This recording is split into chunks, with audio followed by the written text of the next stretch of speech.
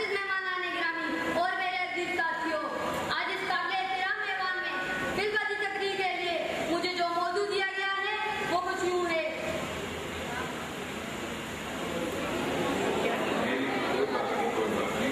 मेरी ज़िंदगी के तीन यादगार वाकयात।